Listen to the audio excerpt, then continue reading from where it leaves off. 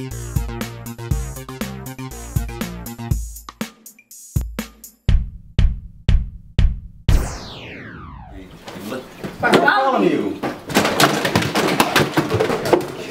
Let's act.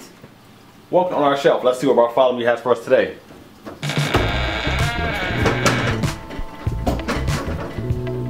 All right, Bartholomew, what you got there? We have the uh, mini Jambox by Jawbone. This is nice. Where did you get this? Never tell me where you get this stuff from. there. Okay, so we have the mini Jambox by Jawbone. This particular one is in the aqua scales color. And as we turn the box over to the right, it shows an image of the actual Jambox, but that's not the actual size. The real one is a little bit bigger than that size, but that's close. And here's a look at the back, bottom, and top. Now there's some tape on each side, which I struggle with a little bit, so I'm gonna fast forward this part. You just have to pull it down on each side, and then the box comes right off. Well, the top of the box comes off. And there is nothing inside of here, so I don't know why I'm showing it to you, but I guess that's what I'm supposed to do. And this piece right here comes off also, nothing inside of here. Don't know why I'm showing it. We're gonna set the jawbone uh, Jambox to the side for now, and let's see what else we have inside the box.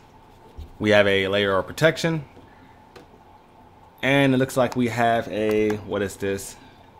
A USB cable, 24 inches long.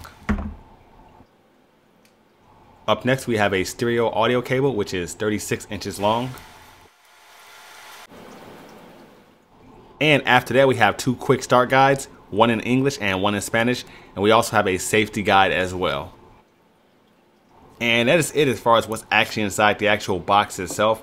Now let's go back to the actual Jambox itself. Again, this is the aqua scales color. And I can tell you this my first impressions is it has a little bit of weight to it so it definitely feels solid. And from what I'm told and when it feels like it already that this is made out of a solid block of aluminum. Pretty much the whole outer shell is one solid block of aluminum except for the actual sides themselves. They have like a rubbery plasticky gripping material and so does the buttons. But everything else um, yeah it's one solid block of aluminum and it feels very nice in the hands very premium and I'm really impressed by this. This thing feels very good, very premium in the hands, but what it really comes down to is sound and how does this thing work with our mobile devices.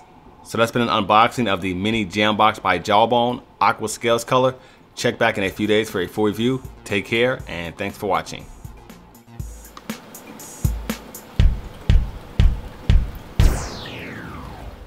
So this is the Beats Pill, the white edition. It's the box it comes in. Very nice packaging.